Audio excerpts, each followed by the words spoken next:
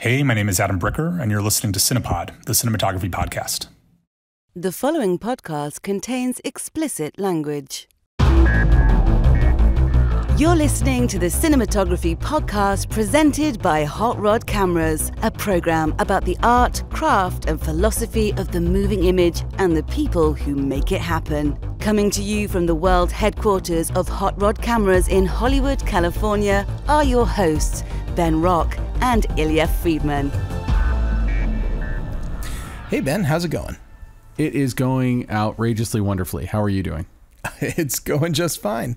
Hey, who's on the show today? We have Adam Bricker, recently nominated for an Emmy for Hacks, talking about Hacks before he was nominated.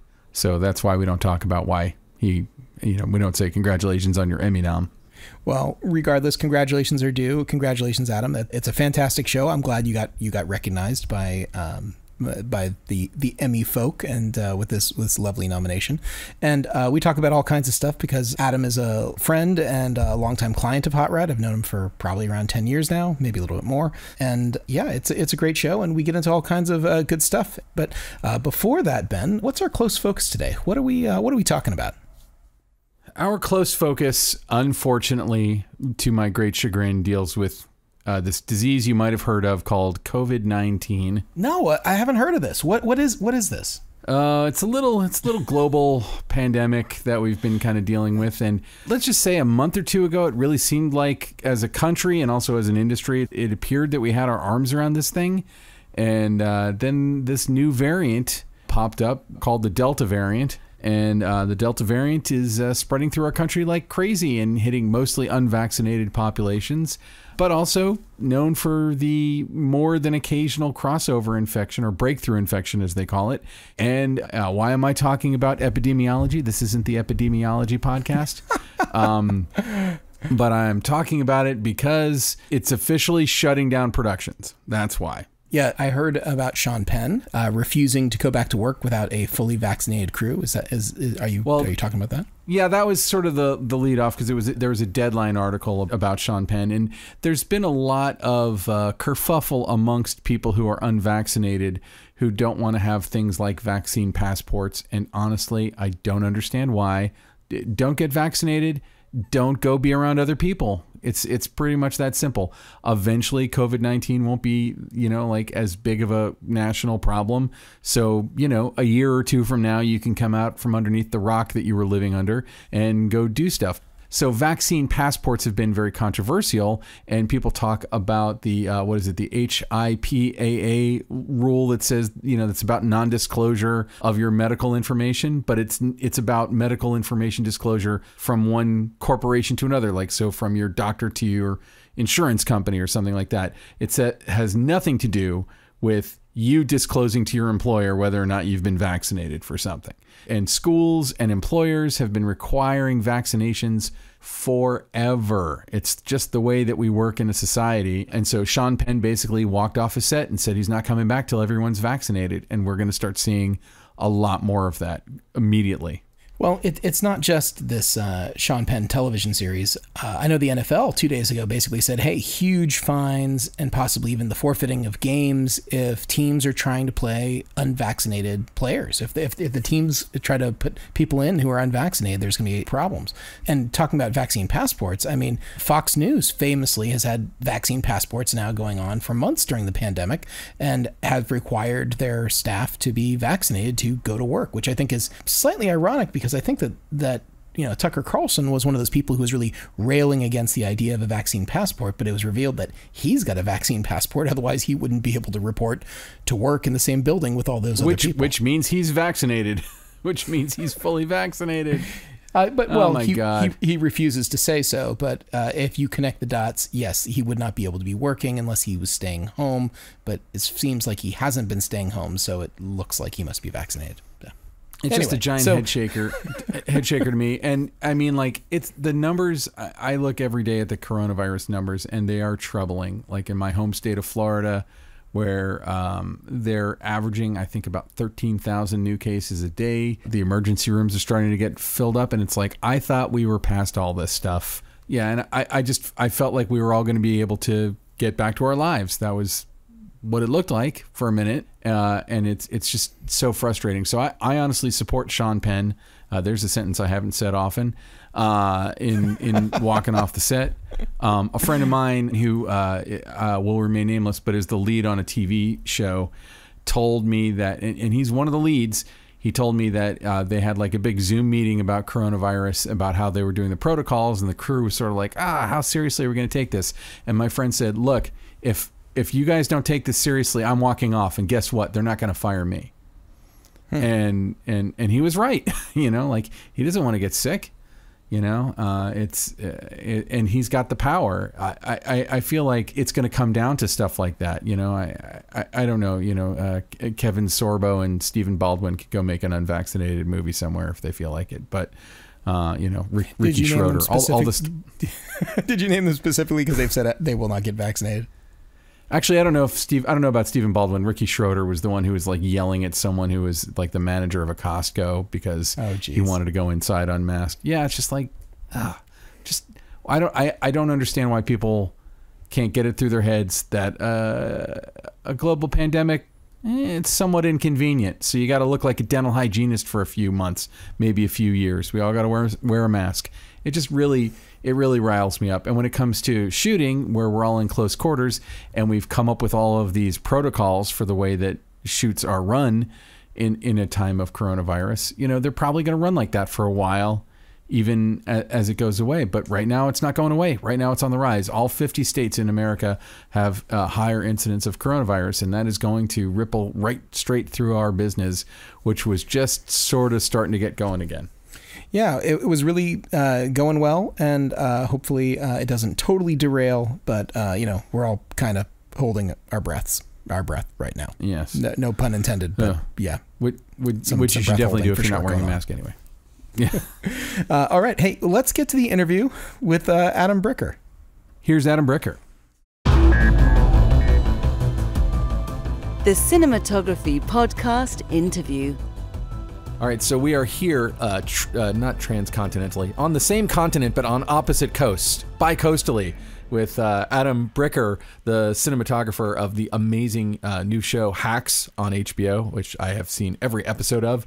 Love it, great work. Uh, thank you so much for coming on the show. Oh, thank you so much for having me. I'm thrilled and honored to be here.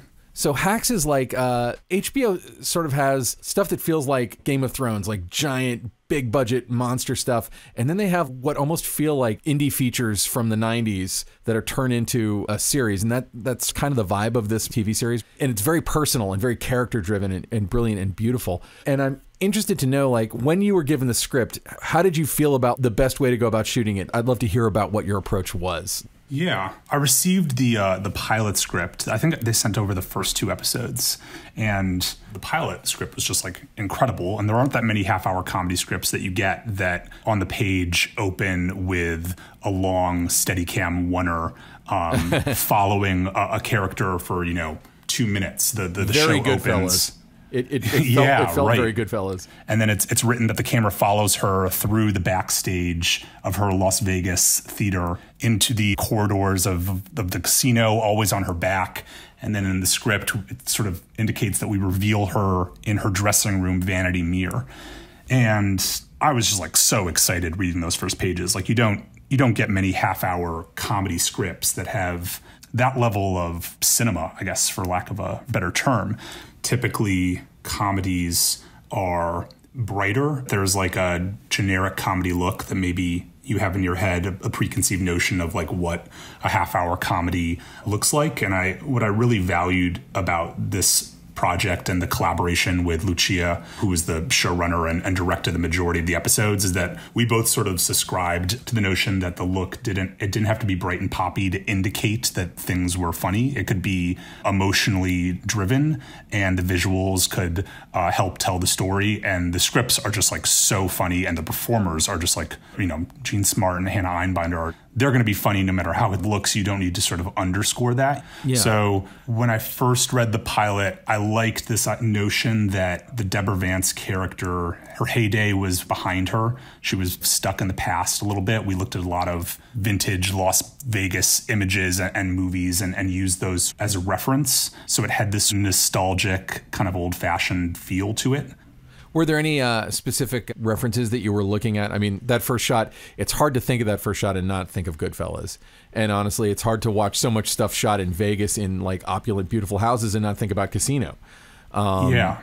where- we looked at those films. I think like um, we were really interested in Behind the Candelabra. Um, Oh, yeah, the, the Steven Soderbergh movie. Movie. It's gorgeous movie, and, too. Um, I really loved the weird, like vintage quality to the lensing on that, um, and the way that sort of like the shears blew out in those films. Like a lot of the images that we pulled for that were major touchstones for us in the look. And then a movie that um, Lucia turned me on to is this the one this wonderful film that came out a couple years ago, uh, Judy with Renee Zellweger Oh, yeah. and I loved, I loved, loved how that film was shot. And there's so much stage performance work in that film, and uh, the the cinematographer on that. What I what I loved is that the the performance would sort of the lighting would sort of shift based on where the character was. So in a positive moment, it might be a little bit warmer and softer with the spotlight, but then when she's at her worst, it's a little bit cooler and a little harsher and a little harder.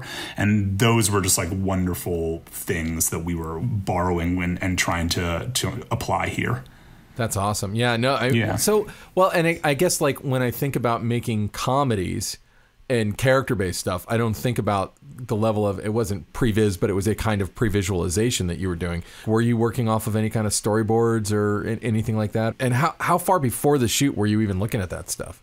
Yeah, the the challenge of a TV show is that you don't have you don't have all the scripts in advance. You uh-huh. you sort of are we were sort of setting the look based on the first couple of scripts, and then as we were in production, additional scripts would sort of come in.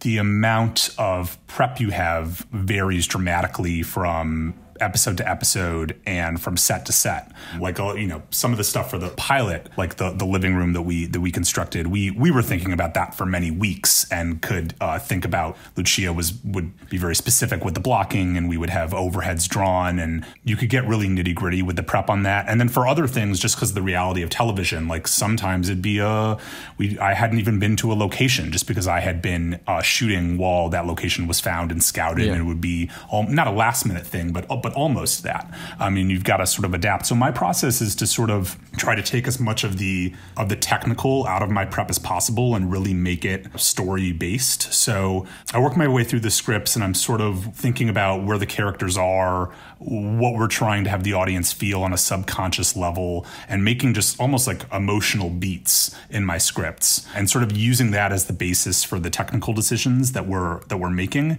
I found that that's really helpful because uh, when I do you have to make a, a last minute decision or adapt to a new location, the creative choices that I'm making on the fly are really grounded in like a narrative arc. Um, How do you uh, like? To me, the the most interesting thing is how you keep track of that. Like, do you have a physical script that you print out and you write notes in a physical script? You use scriptation. Like, how do you know? Because you're shooting out of order. How do you know on the day? Like, oh, this is the day that we're trying to underscore this piece of the subtext. You know. Yeah, I do it in. I use scriptation, which is great on on all projects, but you know, especially so in a television show when new drafts are coming in regularly because it allows you to sort of transfer the, the notes that you've made. Oh, I don't want this to magical. become an ad for scriptation, but No, no. I mean, we we've talked about scriptation a few times, and I always think it, it's always good to know what the tools that people are using are, because scriptation's very reasonably priced, and uh, that thing where it transfers your notes to the new draft and tells you what it removed is is kind of magic. So we're not Yeah. we're not sponsored by scriptation, but but it but it is awesome. Yeah, no, I think I go I go through the script and I try to force myself to like write a little something about each scene, which sort of forces me to think about it. Even the simplest of scenes, I'll I'll some idea or some vibe or like something that I, that I want to feel like, or like oh this is the pivotal moment. Let's make sure you know this is happening, and then I'll go in and I I'm, I'm big on culling a large collection of visual references, and you know I'll build I'll build a library using like Film Grab or or Shot Deck or something like that, and I'll start putting placing those into the scripts, and I try to like pretty much put everything into the script. So um, my notes on the character beats, these visual references, eventually a shot list, technical notes from my gaffer, my key grip. I try to use the script as like sort of a hero document, and I share those with my camera operators, my gaffer, my key, and I've I found that that's really helpful instead of having like a bunch of disparate documents. Um, I used to make like Google Sheets things and would find that I would never look at them. What's great about having everything in the script is that when you're on set and you're on the fly um, and the actors are rehearsing a scene and you're trying to, re- you're seeing on your script your initial notes about um, the, the mood and vibe and the, and the storytelling, and and those are right in your hand as you're watching the actors, you know, rehearse and you're referencing them and able to sort of apply them to the decisions that you'll make right after that rehearsal.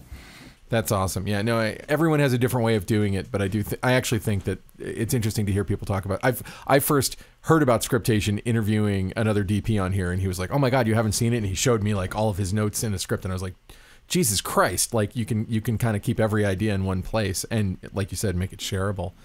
I just want to jump in here. It seems to me in hacks there tends to be uh, a couple of different types of scenes. There's scenes in which uh, propel the story, and there's scenes which you know develop characters. But one of these, one of the sort of the archetypes, it almost feels like the show, are these duels, the these verbal duels between Deborah and Ava.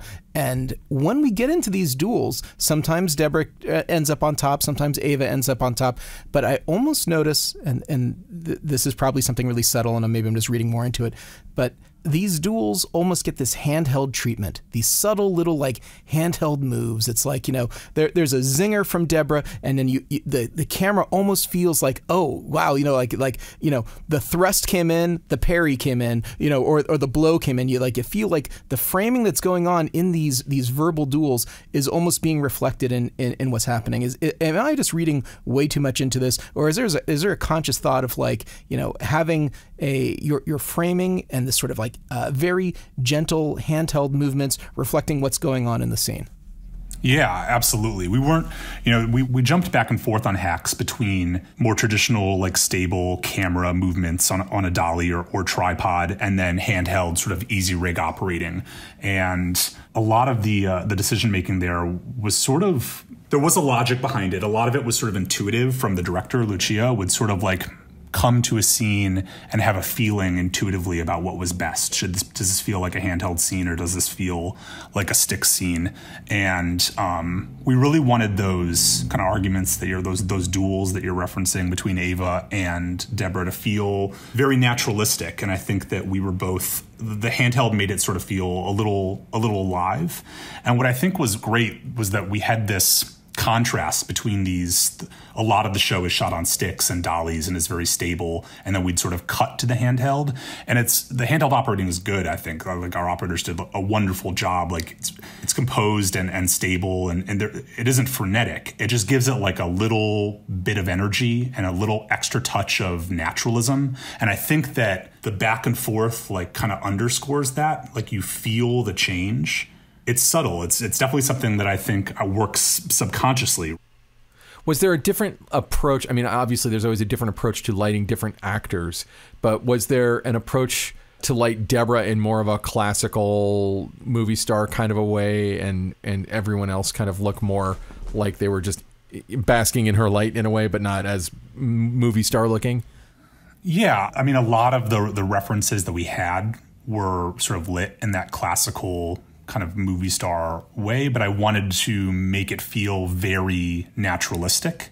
And I also wanted it to feel very cohesive. So it wasn't, I, I wanted it to feel like there was this look, and a lot of the look of the show is inspired by the Deborah Vance character, but I wanted to create a cohesive world. So that carried through the entirety of the of the series this whole show was uh, produced during COVID too, right? There was like uh, oh, yeah, you, you had right. to uh, deal with, I'm guessing, uh, frequent testing and closed. Uh, uh, like, can you tell a little bit about the, the process? Because here it is, we're just now starting to see some of the, the stuff over the last you know few months completely shot, produced, posted in, in COVID. What was it like for you on set trying to, to manage with that? It was challenging. I mean, I think you know, there's the stuff that you hear about, you know, the the, the frequent testing every every morning, and yeah. then you're you're wearing a ton of PPE, just you know, all all the stuff you need to do to keep. That's really important. I, I like to think that in the end, you can't really tell that we shot it during the pandemic. Like I think that I had did. no idea. Yeah. And and it's sort of during the you know for the last year like every new series that came out uh, you know I, I, always felt like ah they probably did it before the pandemic and we're you know waiting on a release so the fact that it was done during the pandemic to me is uh, it, it's actually inspiring to see that you were able to, to make something that didn't feel constrained in that way it, it just felt it, and and I wonder how many of the pandemic level restrictions are going to stick around you know for the foreseeable future are we still going to yeah. be wearing PPE on sets yeah, I mean, uh, for as annoying as it was, we're all like just very fortunate to be able to work in an industry that made it a priority to take care of, of its of its workers and its its labor and its employees. So I think like you know we were we were conscious of that while we were filming that we were in a we were in a fortunate spot that we were we were being tested regularly and and, and protected.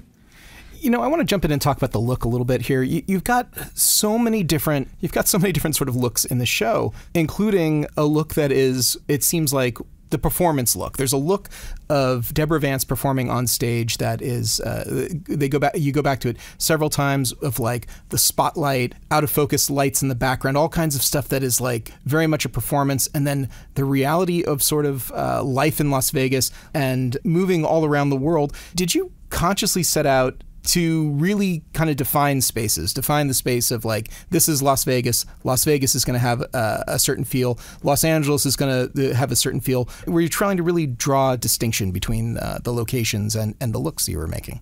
Yeah, definitely. I think in the beginning uh, episode, we're sort of intercutting between Deborah in Las Vegas and Ava in Los Angeles, and their worlds don't sort of meet until the very end of the pilot. But we're going sort of we're going sort of back and forth. And in the beginning, Deborah's Las Vegas has this sort of vintage kind of golden feel. There's like a old fashioned kind of glamour to it. And when we cut to uh, Ava in LA, we're sort of doing a little bit of contrast there. When we first meet Ava, she's at her lowest point. She's just been sort of canceled and you know lost her her writing deal is really at a, at a low point in her life. And i had this sort of idea that we when you, i think when you think of when i was looking for references of la most of the things you see in films and photographs are like it's sunny you know california sunshine like warm gold beautiful. And i had this idea that we would keep ava very subtly in sort of soft shadow and then whenever possible we would have that sunshine sort of in the deep background like it is sort of like unobtainable for her like she she can see it but she Oh. can't have it That's brilliant.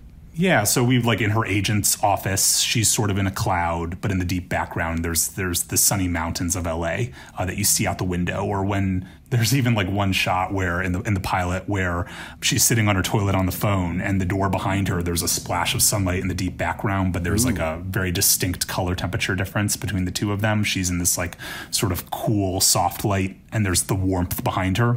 We were just like very very conscious, very conscious of that. And yeah, I think like that that was the idea from the onset was that just you know very subtly and naturalistically you would have a look that was motivated by Deborah's story and a look motivated by Ava's, and then they would sort of collide. So I always like to ask people like what was the first moment that you realized cinematography was like a thing you could do? Yeah, okay, that's interesting. I um so I went to film school in Chicago. I went to uh, DePaul DePaul University, and it was a new film school at the time. They had just started like a digital cinema program, and it was it was really really a wonderful wonderful experience. Like you got to get right in you know down and dirty like making stuff immediately. And i, I really loved it. And a friend of mine after my first year he was uh, heading to los angeles for the summer to go to usc they sort of offer a, a summer program where um, anyone who you know people who aren't enrolled in the, in the university can come and take a select group of, of film school classes the usc summer cinema program. And he invited me to go. I'd never been to california. I just thought it would be a great way to spend the summer the class that he was taking was this beginning cinematography course and so i went with him to la and just like took this course and immediately just like fell in love. I'd had a wonderful experience at DePaul. It was sort of like a indie film kind of boot camp type thing where it wasn't really, you know, roles weren't defined. Everyone was sort of pitching in. I didn't know. I wasn't really so aware that there was like a profession as a cinematographer, and going to to this USC program like really opened opened my eyes. And I decided to apply to to, to transfer, and was really fortunate to to get into USC and and and finish my film school education there.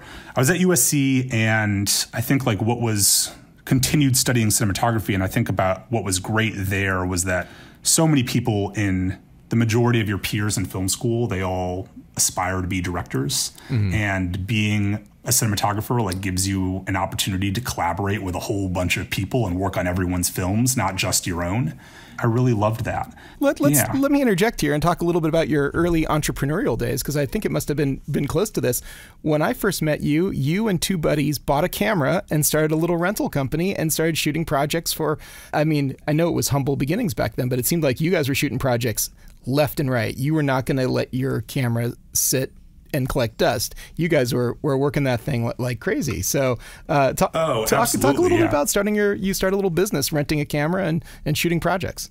Well, I'll, ba- I'll backtrack even a little bit. Like I, gr- I graduated school and I thought like, I had this like career path set out for me where I would start in the camera department and sort of work my way up. So right out of school, I would take jobs as a as a as a loader or a second AC, and my goal was to accumulate enough union days and sort of just work my way up to operator and eventually DP. And I was second ACing on a on a on an indie film that this DP from New York, Tim Naylor, was shooting. And and one day at lunch, he pulled me aside and sort of asked me, you know what I wanted to do, and I, I, told him my plan. He was like, "You need to you need to quit this crew this crew work sort of cold turkey. If you want to be a DP, you got to be a DP. You've got to just you've got to start shooting right away." And I don't know. I, I, th- I thought about this, and his point was that people sort of see you the way that they first meet you, and that it is actually very hard to sort of climb this ladder. I took Tim's advice to heart and stopped my plan to join the union as a second AC, and just started started shooting the, you know whatever I could get my sort of whoever would let me shoot something I would like some kid's short film or I would you know just like aggressively uh, hunt for jobs on Mandy.com or or Craigslist. Simultaneously, two of my friends uh, we we also we, we raised some funds and sort of pitched in together to buy uh, a Red One camera, and that was really we worked that thing like crazy. But that was really helpful for me in those early days when I was shooting you know infomercials that I found on on Mandy.com. I was able to sort of I had the I had tools that could take those projects not to another level. I mean, they were what they were, but like at least I was sort of like practicing the craft and shooting something that you know I was proud of. You know what I mean? I was getting I was getting something out of that. No, I, I I feel like we talked to people who did do what you were describing, like who did work their way up through either uh, the lighting department or the camera department to become DPs, and you know, it's a journey that could take 20 years or more. And then we talk to a lot of people who are who do exactly what what you did which is like i'm gonna i'm just gonna shoot. I'm gonna shoot whatever size project the, the biggest project i can get my hands on. And you know i think they're both pretty valid paths but it kind of all depends on where the fire in your belly is. Yeah it's a, it's it's a path that worked for me. It's not to say that, that my yeah. path is, is better than any other path. I think what it did do for me was that it forced me to have an open mind um, about pretty much you know any any project that would would come to me like I would shoot happily and and and make it the best it, it could be. And so you know I'd put my putting my all into a you know a, a Craigslist music video um, and and trying to put my my spin on it. And I think that that sort of mentality that mentality really really helped me in my early career and then even even to this day. I think like if I wasn't if I, if I hadn't been open minded, I wouldn't have jumped headfirst into a, a, food documentary series, which which ended up being Chef's Table, or um, I know Illya wants to talk about that. Yeah, or a mockumentary about uh, dicks, which ended up being American Vandal. It was sort of like that mentality of like whatever comes to you, sort of you know put your spin on it and make it make it your own.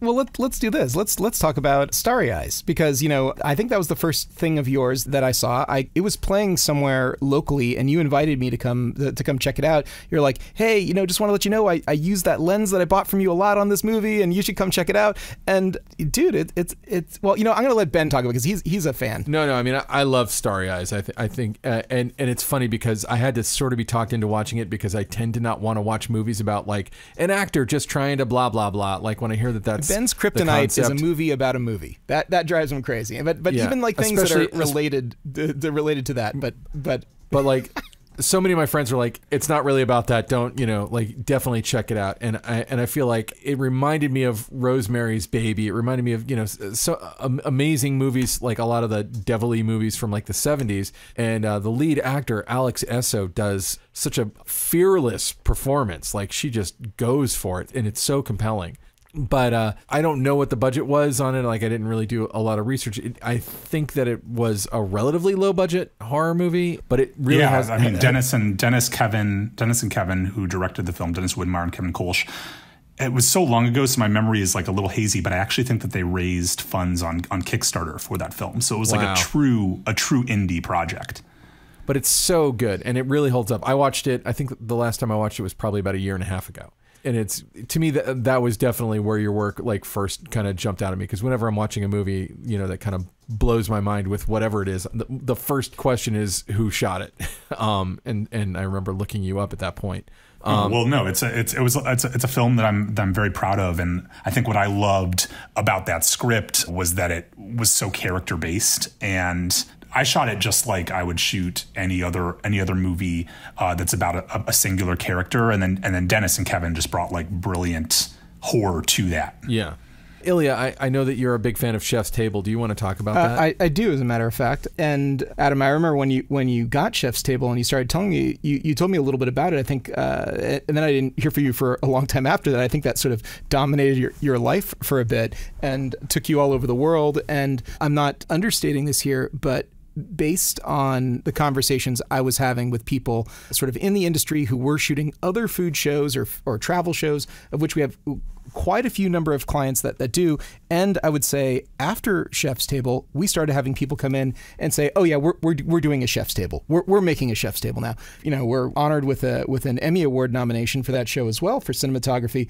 But you actually creating that look and, and moving out with Chef's Table, you kind of defined the modern food show or food and travel show genre. Very big budget look, gimbal type of movements, and tons and tons of shots of food being handled and moved and and taken away from heat and onto heat and into refrigeration in slow motion and I will say that that show I think really in some ways helped build Netflix. I heard so many people talk about Chef's Table when it was new. You know, I think uh, with with Chef's Table, like uh, so much of the the credit goes to David Gelb, who created the show, and his film uh, Jiro Dreams of Sushi, which I like loved that movie so much when it came out, and like. I remember seeing it. I think I saw it at the Downtown Independent, and then immediately went to Hamasushi in Little Tokyo, and like was just like it was just like a wonderful experience, and it's a, it's a wonderful film. So we had like a great we used that the sort of as a as a, as a basis to sort of develop develop the look for the show. Um, at the same time, I had never shot a documentary before, and I never shot food before, uh, and I you know I think like part of the reason why we were able to create something that folks consider to be different is just because of our own ignorance going into that. Will Basanta, who sh- we handed off, we, we exchanged episodes, the went back and forth. Will Basanta and I went back and forth shooting episodes the first uh, season of that show, and we just really wanted it to feel like a movie and to be as cinematic as as possible. The story that our producer Michael Hilliard uh, always tells. He was our sort of our local producer in Australia, which was where we shot the first the first episode that went into production was shot in Melbourne, Australia, and we put together like an equipment carnet. All the gear that we were bringing in to to, to Australia needed to be um, you know pre-approved by customs. And Michael Hilliard, the producer in Australia, receives this carnet and he reaches out to the production team in, in LA and he's like, I think something's missing. There's no uh, there's no zoom lenses on this on this kit. You're doing this documentary. You're going to need zooms to sort of you know follow around the, the talent.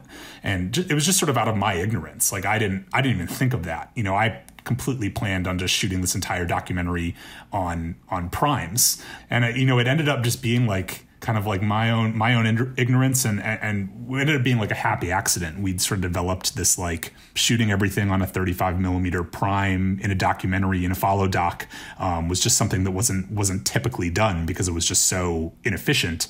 But it developed a look that was you know cinematic and and, and very filmic and and I'll tell you a, a, lot of longevity. I mean, six seasons, couple of spin-offs from this series. This is like it's a major hit for Netflix and really I got to say that on at least 3 occasions we had people come in here and when I say here is, is Hot Rod Cameras, they would come to the shop and I'd ask them like what they're doing or what they're buying gear for and they're like, "Oh, we're doing a chef's table except it's all in Mexico." Or we're doing a chef's table and it's only going to be in this place in like Eastern Europe. Or we're doing a chef's table. It's like it became a referenced look for for the world of documentary, particularly food documentary. And if you're telling me that you didn't even use zoom lenses for that, it doesn't surprise me. But at the same time, uh, that's kind of amazing because usually when people think about documentaries, they think about, ooh, I gotta, I gotta move around, I gotta be ready to react, and a zoom lens is, is the way that you do that. A zoom lens gives me the ability to, to reframe what I'm doing and not have to switch lenses. But it sounds to me like you composed and planned and said, hey, we're doing this on a 35,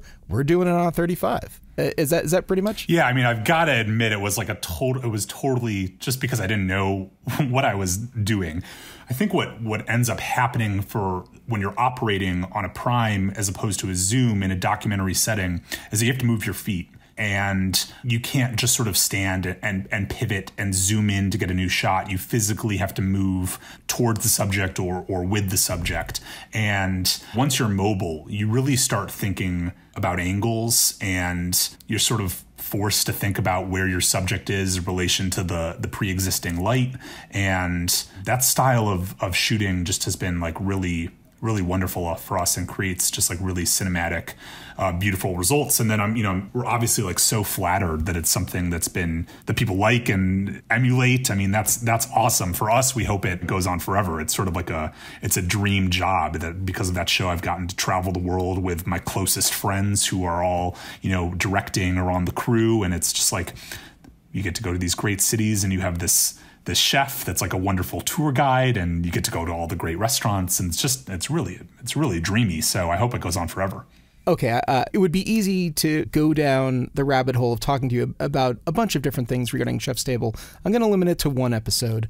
Uh, Corrado Assenza, who, of course, this episode with Corrado, you were nominated for an Emmy Award for, for the show, and you spent a, a looks like a ton of time in uh, Noto in Sicily, in, in Italy.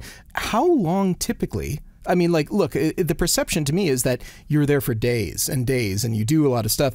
But I know that in the world of production, this could all be false. You could have been there for 24 hours or 48 hours.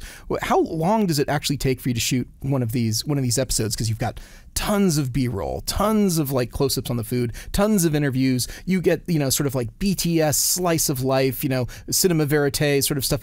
There, there's so many different components that go into a chef's table. How much time do you actually have to to, to make this thing? We shoot the the average episode in approximately like eight to nine, maybe ten days. What's fun about shooting Chef's Table is that it's the type of show where each episode you can get better and better at it. You sort of you figure out what works, you figure out what you want to do differently, how you want to change it. But it's it's it's very satisfying in that respect. Like it's a it's a it's a muscle you're sort of working and you're, you're refining you're refining the craft of making a, a chef's table.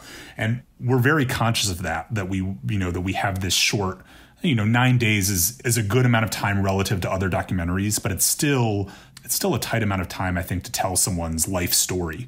We're very conscious of that and want it Brian McGinn, the director, and I really wanted to feel like we've sort of lived lived in that space. So we'll obviously we'll go in advance and we'll make sure that we've done enough enough homework to tell the story appropriately. But we've developed some sort of you know some tricks over the years. Like we made sure that Corrado had several wardrobes with him, and we tried to shoot a like many different scenes in many locales in a, in a short period of time. So a typical day might include you know six or seven one hour scenes and we're then hopping back in the van and driving elsewhere. But we make sure that Corrado brings his wardrobe with him so that each scene he can sort of change his shirt and it gives you this sort of subconscious feeling like the filmmakers were there for it's a little magic trick to make it make us feel like we were there for months, you know?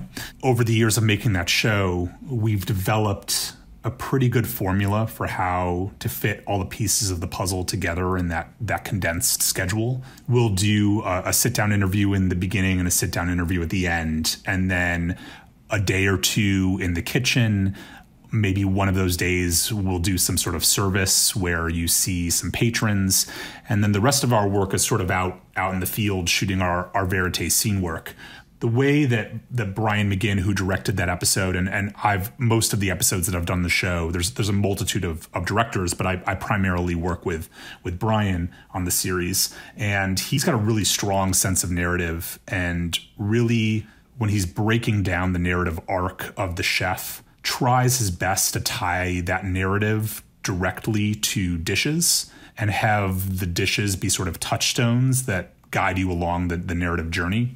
So we'll sort of when we're coming up with our verite scenes, it's it's it's really fun to make because you're you're right there as a cinematographer. You're right there with the director, almost writing the script, coming up with scene ideas, and a great chef's table scene is a versatile scene because you even as much as you pre-plan a documentary the, the narrative is really fully constructed in the edit and so you want the scenes to be able to work on on a, on a multitude of levels so you want to make sure all of the all the angles are covered and you're, and you're working together to come up with scenes that are that are versatile and then also just really full you know a variety of scenes that encompass sort of the the area that you're in you know? The show is so is so rich in that it's not just like you get this one little trip out of the sit down interview or out of the kitchen. In the, the Corrado episode, he also goes and uh, visits a, a sheep farm and he goes and uh, fi- yeah. finds, you know, where the milk is exactly coming from, which sheep that goes into the ricotta. A chef's table does all these extra layers where you just don't think, oh, we're not going to go to that layer. Oh, yes, we are. And now we're going to see that. And now we're going to see how this, this builds, uh, this builds up the world. Now, I think that yeah, the, well, it's like the basis of the of that is like you start with the ricotta gelato or the ricotta filling for the cannoli, and then you start working your way backwards, and you're like, okay, well, this is where they make the ricotta. Okay, well, where did they get the ingredients for that? You know, and then now you're at the sheep farm, and you start just trying to figure out all of the different elements that come together, so that at the end you've gone on this journey, and when you see the final dish in the food symphony, you sort of know the origins of it, and then along the way, if those scenes that you're shooting can sort of help to tell the narrative, you know, now you're in a really good spot. I will say, like the Corrado episode, Brian McGinn, the director, really wanted that to be a love letter to Sicily, and we're always looking for like different different techniques or like how we've already done this on a previous episode. What can we do differently here? Leading up to that episode, the majority of the show was shot uh, handheld by myself on an Easyrig um, on the episodes that I that I DP'd and that was the we and we sort of dabbled a little in in Steadicam. We we maybe have like a Steadicam day, and that was the first episode, the Corrado Assenza episode, where we decided to go all in on Steadicam. We brought this wonderful operator Joel Marsh to Sicily, and it was my first time working with him. And he just did a brilliant, brilliant job, and he operated every single frame in in the episode and I think that the the Steadicam like really really heightened that and and kind of made that episode distinct and almost like a fairy tale. And Joel just did a wonderful job, and we've gone on to work. He's he's been on everything I've done since. He's just so brilliant and worked on hacks, and it's just a wonderful, wonderful operator. But it it was kind of just like an interesting twist to that one. Do you ever eat any of the food? Uh, oh my god, yeah. We kidding me? We eat everything. I, I, had a feeling that's the best part about like the best part about that show is just that you get to shoot very beautiful things, but the, the food is like that's that's incredible. And you know we, it's also like a very important part of the storytelling. If we're being perfectly honest, like the you know we the, the first thing we do when we arrive in the city is myself, the director, the producer, we go to dinner at, at the restaurant and um, really experience that and it's it's so important to, to do that not just for us because like it's delicious but also like it's you research. know that's the um it's it's that's the chef's uh art and like for chefs on on that level like the meal that they that they serve you there that's their that's their story and you need to really understand that i think to capture it uh, we've been talking for quite a while here, and I, I really just want to touch upon uh, one more thing, which I think is is probably a, a, good place for us to wrap up, and that you just did a feature called Happily and that that just came out a, a, couple of months ago, if I'm not mistaken. So 2021 has been a busy year for you. Yeah. Well, I'm I'm glad that Happily is like finally out in the world. I think we shot that we shot that film in 20 2018. Oh wow. Um, and then or 2019. I don't know. Everything sort of blends together with the recent events, but it got into uh, the Tribeca Film Festival for 2020, which was unfortunately uh, canceled. And then I believe it's actually going to play at the festival this week, which is really exciting for for Ben David. That film was like a true passion project for Ben David. He put his heart heart and soul into it, and I was lucky enough that he sort of brought me along along that journey. He uh, he'd really he'd written the film some time ago, and it was it was a challenging, like all independent films, that went on its journey to being made. That was you know very very challenging for him, but he pushed it. He pushed it over the finish line, and he was just like a wonderful director to collaborate with. He was so prepared and had really like truly pre-visualized the whole the whole film in his head before um, I was I was even involved, and it was just like wonderful, like and, and and both challenging and fun to sort of try to get into Ben David's head and and figure out the images that he had there that were just like so specific. And he really challenged me and and and forced me to sort of push my boundaries as a cinematographer. I'd never shot uh, anything like that. It's a very it's a very ambitious film uh, visually with you know a, a very limited indie budget, and I'm I'm I'm really proud of of how it turned out. What's fun about being a cinematographer is you get to you as a, as a cinematographer, it's great that you get to collaborate with a lot of different types of people and a lot of different filmmakers. And the best experiences are when you really you really trust a director and you're sort of along for the ride and you get to push yourself and try something new. Adam, thank you so much for being on the show. I really appreciate us uh, doing a little bit of a deep dive here into your work and career. And I hope, uh, yeah, actually, you know what? Before I sign off, where can people find you? If, if people want to follow your work online, do you do social media or anything like that? Is there a place? Do you do you do the Instagrams? Are you uh, are you one of those folks? Yeah, I'm on Instagram. It's real Adam Bricker is the handle, and Is that I love R- posting. um, R E A L or R E E L? R E A R E A L. Ooh, it should be. It should be the other. Though. No, That's no, it clever. shouldn't. I think R E A L is better, but I, anytime someone says Adam- real, I, I have to ask. So. Yeah, no. And if the Adam Bricker that has my name as a handle is listening, I'm open to negotiating for that handle. I would really like to have it. Um, but yeah, no, I, I'm on Instagram and I love, um, I've been posting stills from, from hacks and um, I love uh, sharing that work and being able to tag the crew that I collaborated with. So there's good stuff on there. Hey, uh, well, I think that's a great place to leave it. Uh, Adam, thank you so much for being on the Cinematography Podcast. Oh, thanks so much for having me. It was a blast. All right, that was uh, Adam Bricker. Adam, thanks so much for being on the show. I can't wait to have you back sometime in the near future. And congrats on on that Emmy nomination. You know that little thing. Yeah, you know, that thing. uh, hey, hey, Ben, I think it's time to pay the bills. I like paying bills. We got to thank Aputure for helping to make this show possible. We have some new sponsors coming on next month, but uh, Aputure has been a stalwart and been with us for a long time. And I want to do a reminder about the LS600D Pro. It is a really bright light that, um, frankly, you know, I hear people say to me, well, why should I get a 600 versus a 300 versus a, a 120 or, or something smaller? uh, the the bigger, brighter the instrument, the easier it is to fill a space with light. The more intensity you have, you can always go down. Easy to go down. It's hard to get more out of something that that just doesn't have it. So of course you can buy the the 600D Pro over at Hot Rod Cameras, but it is an incredibly powerful compact light that is not very expensive. And in the LED realm, there are some units that are brighter and that do have more output, but you pay a lot more money. You get usually a much larger footprint. The 600D is sort of this kind of uh, workhorse light. It's very, very equivalent to like the 1K tungsten of, of days of yore, except that it's daylight. And if you did want to make it tungsten, it's really easy to drop a gel in front of that, and voila, you've got a tungsten light. But the whole thing can be battery powered, and it's got a cool ballast, and it's it comes in a case, and it's just a a kick butt little powerful light and if someone was thinking like hmm, maybe i should buy a 1k tungsten no you should buy a 600d pro. That's that's that's really the reality today. It's it's an it's not a fresnel but there's a fresnel attachment and there's other softbox attachments and all kinds of other things you can put on there. So in many ways it's super flexible and it's absolutely worth taking a look at if you're looking for a light right now that is uh, can do a lot of different things because that you know lights are kind of specialty items. They, they do one thing they, they can do two things some of them can do three things but uh, a light like the 600d pro can be used in many different ways and it's just super practical and and it's wor- absolutely worth the money. It's worth uh, it's worth investing. So if you have other questions or you want to check one out definitely uh, hit us up at hot rod cameras and we will give you the full lowdown on the 600D Pro. They're kind of hard to come by, but I do know that we have a, quite a few due in stock. I think probably by the time that this episode goes live, or maybe within a, a couple of days after. So if it's interesting to you, uh, yeah, give us a call. We'll help you out. Definitely check that out. That that sounds awesome. I- Are, are a lot of people still using like tungsten lights? Yeah, absolutely. Uh, I talk to rental houses all the time, and they tell me that still Arri like SoftBank kits with uh, tungsten lights inside of it is a standard rental item. They get thrown on a truck. People have uh, plenty of tungsten kits.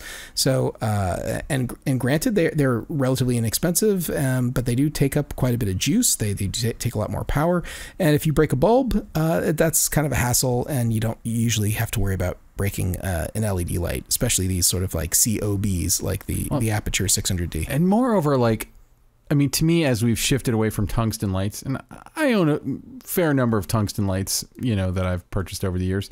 Uh, as we've moved away, to me, the biggest thing, you know, yeah, it, the power thing, like you never, you're never going to have to worry about tripping a breaker if you're working in like somebody's house or you're you're filming on a location where you're using house power. But moreover, no one's gonna boil alive, man. Like tungsten lights are so hot, and if you're in a tight room, you're gonna be playing that game where you're constantly turning off the air conditioner and turning it back on. And tungsten lights are are great lights. I'm not down on tungsten lights inherently, but man, LEDs are just they save you so much in terms of heat and power and they're lighter to carry you know like if you're able to work with them to me i, I it would just be i would be hard pressed to uh, to start using tungsten lights again unless there was a, a really good reason for it And now, short ends. Hey, uh, Ben, I think it's time for short ends. Uh, what is your All right. obsession this week? What, what what do you got going on? Matt, I know I've talked about Masterclass. I swear I'm not on the payroll of Masterclass. What? I just think it's a Masterclass good- again? it's a really good service. So James Cameron did a masterclass. Holy crap! And I watched it, and it. Fe- it- I mean, like he's dispensing a lot of very useful information, in my opinion. But even if you just take it as like an interview with James Cameron, like a, it's a, you know, it's a few hours uh, interview with James Cameron, kind of going through his creative process. He shows storyboards that he did for the Terminator, for the first Terminator that are some of the most gorgeous storyboards I have ever seen in my life. He drew them. And he shows a lot of his boards throughout the whole thing, and it, it kind of reaffirms something that I know when when we had Russell Carpenter on the show. Uh, I asked Russell the most burning question I had about James Cameron is, which was, is it true that he could literally just fire anyone on the crew and do their job better than him? And I I believe Russell said more or less, yeah. And when you watch this, you're like, yeah, he understands everything about the process top to bottom and uh, and kind of seeing his creative process but also understanding his artistic process and his artistic impulses and i'm the first to admit like i don't love every james cameron movie ever made i, I don't think avatar is uh is- Avatar was amazing spectacle for its time, but as like a piece of writing and a piece of drama, not my favorite thing of all time. But it's interesting to hear him go through that. But he spends a lot of time talking about the first Terminator movie and how to make a movie that had a very low budget, how to make it all work. And he talks about doing things that uh, that we've all done, but maybe I didn't. I certainly didn't know about it when I was, you know, in, in film school or early on in, in my career. Like, you know, how he could basically say like, okay, I'm just going to pick this shot up later, and he would do a lot of basically would direct it, but he would do a lot of second unit stuff later, inserts and stuff like that. He would just know he wanted them, and he would board them, and uh, it, it he he's a very thorough filmmaker and uh, very thoughtful about his process. And uh, so I know that I've, I've already talked about a bunch of master classes, especially Ron Howard's, which I still think is probably one of the best instructions in film directing I've ever seen. Ron Howard's masterclass, but I, I think this was actually uh, this is a close second. Like I think he's got just some phenomenal information in there, and if you are uh, so so inclined as to check out masterclass uh, I'd, I'd give the James Cameron one a, a shot. That's uh, that's high praise. Yeah, it's, it sounds really uh, very fascinating. Maybe I'll take a look. So Ben, I, I don't know if you know this about me, but uh, I spend a lot of time working, even when I'm not working. And one of the things that uh, I have a tendency to harp on uh, some people is is shopping as a consumer versus shopping as a professional, or shopping as a, a consumer versus shopping as, as a business. And uh, one of the things that makes a huge difference for um, people who are professionals in this industry is free money. I, mean, by free money, I mean like financing. And, and, you know, I did not understand financing at all when I got into this industry, you know, 20 something years ago. And, and if I had, I absolutely would not have sat on the sidelines. I would have invested in some equipment, which probably would have, uh, you know, elevated my career in a, in a much different way than, than the way it went when I was constantly getting calls from people saying like, Hey, do you have a camera? Do you have lenses? Do you have this, that? And I had to answer no.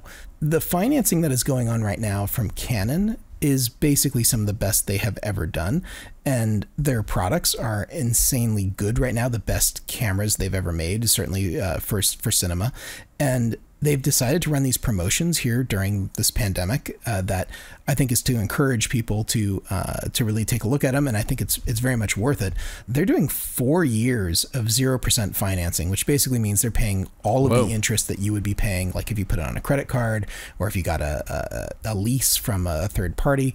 But yes, with their financial services for four years, they'll pay all the interest. So that means uh, it doesn't cost you a penny extra to use their services, their their financial services. And if you work with a dealer like Hot Rod Cameras, you're you're going to get a great deal just to, to start with. But now you're also not paying anything extra for breaking up those payments. And so the way that you figure out how much something costs you is you literally just divide the total price by 48, and voila, that's how much it's going to cost you every month. And for some of these items, uh, you depending on who you are and what you're you're doing, you might be able to rent out that number of times per month to cover your payment. So if you are able to hmm. actually rent something and do that consistently, that means you're basically paying zero dollars to own an expensive piece of gear. Like so, for example, the C500 Mark II, they're sort of like flagship, you know, small footprint, full frame camcorder, which is brilliant. And then they're lesser cameras, and I say lesser because lesser in price or maybe lesser in a couple of features, but not necessarily lesser in uh, as as quality, like a C300 or a C70. These are much less expensive cameras. They're not being left off this promotion. It's not four years, but it's two years, and that's kind of ridiculous, especially since it's like you know a six thousand dollar camera uh, approximately for like a, a C70 you divide that by 24 and figure out how much you would get to rent it and then how much you would how much income you would 48. make. yeah no no no it's only 24 it's only two years for the c70 so no, Oh, unlike the I'm sorry, my bad. Yeah. so, uh, so, but if you do that with something like that, then uh, you know if you're renting it out for three or four hundred bucks each time you rent it out, you don't have to rent it out very often to actually cover your payment. And I know that there are people out there who have uh, you know relationships with rental companies either for consignment or they use some of those like uh, services like ShareGrid. I'm not necessarily advocating that for everyone. It may not be the right fit for you, but uh, sometimes people have employers too who are like, hey, you know, uh, I need you to shoot this, and I'm willing to pay X amount of dollars on a camera rental. And so it makes a lot of sense to own some equipment that essentially becomes free or costing you very, very little. And look, you know, this is something that I do all the time at Hot Rod Cameras is have this this conversation. And if anyone wants to have this conversation, of course, I'm happy to, to get into it. But it's sort of been an obsession for me lately because I've got a client in Texas. He was just hitting me up. Uh, he wants to buy a C70, or maybe he did buy a C70 right now. Someone else in, in my shop is, is working with him. But it's like, it makes so much sense to not have to plug plunk down all that cash, deplete your bank account to to buy something outright when the manufacturer does this free money financing where it doesn't cost you any interest, it doesn't cost you anything extra. I mean, why not divide it up? It it just it's such a uh, it's, it's such a more professional way to work unless you just are Mr. Moneybags and have, have cash flowing everywhere and you need, you need like the write off and the depreciation. There is a there is a use there's a case to be made for for paying for something all at once, and I suppose there's a case for you know working with credit card companies and stuff too. But if someone wants to get into all that, or they want to have a discussion, or they have to build a studio, or whatever, that that is a big part of what I do. Is I have those sort of you know, pretty high level discussions with companies all the time, trying to figure out the best way for them to get equipment. And when Canon does something like this, they make it really easy for someone to get uh, excellent equipment and not have it be uh, too painful. So, so anyway, there, there you go. That's that's that's my short end this week. My short end is Canon is doing really brilliant stuff and making it very easy for people to move into their product line. And if you were thinking about going with a camera system like that, uh, this is truly like 2021 is. There's never been a better time. This is absolutely the best time to to get into any of this stuff. Well, and uh, is the C500 the one that does 6K? You could round up to 6K. That that's fine. 5.9K, Well- full frame camera body. Yes. I just edited a project for my friend Joe Freya that was shot on that camera, and I have to say the footage looked amazing. Like it, and it was a lot of it was uh, shot uh, with available light in various locations or very moderate adjustments to the lighting because they were running and gunning. My friend uh, Pete Alton was the cinematographer on it, and I mean Pete's an amazing DP, but the whole thing just really looked looked amazing. I, I was blown away because I, I hadn't I don't think I'd cut anything that was shot on the C500.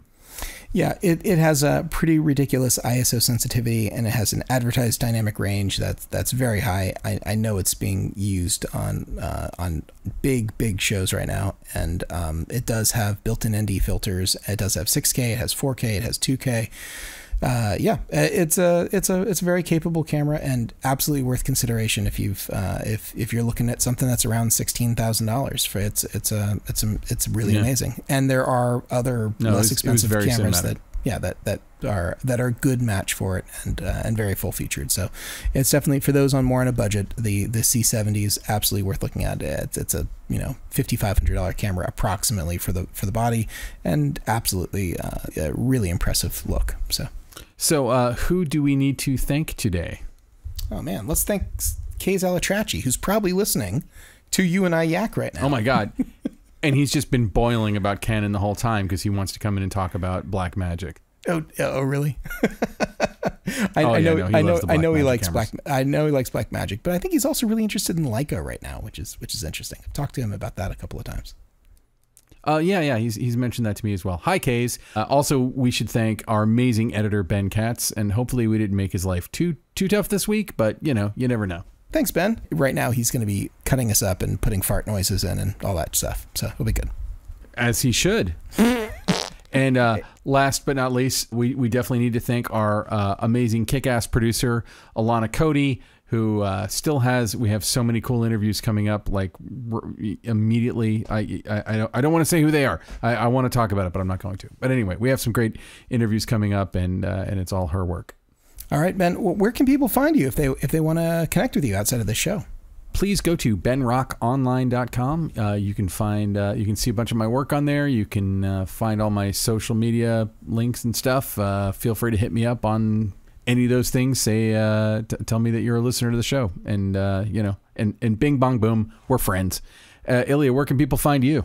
Uh, you can find me over at Hot Rod Cameras, uh, hotrodcameras.com. That's where I spend much of my time, probably probably too much time. And if you do come in and mention the show, we have a few T-shirts left. Uh, you can still get a T-shirt. It may only be uh, limited sizes, although we seem to still have plenty of women's shirts. So just FYI, the free T-shirt thing may be coming to an end until I can get some more swag going. So hopefully that'll be sooner. We need some some later. Cinepod shirts. We need to get some Cinepod shirts going, man. you, you know what? If someone out there would like to, to design a Cinepod shirt, then I, I'd be happy to uh, turn it into reality if, if it meets approval of, of our team. But uh, yes, I've I, I have not actually uh, designed a shirt. But if someone else would like to design a Cinepod shirt, then uh, please hit me up because uh, yeah, we, we could use one for sure.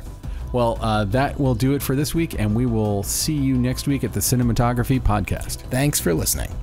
This has been the Cinematography Podcast, presented by Hot Rod Cameras. Find your next camera, lens, or accessory on the web at hotrodcameras.com. Don't forget to subscribe to our show on iTunes and connect with us on Facebook and Twitter. Thanks for listening.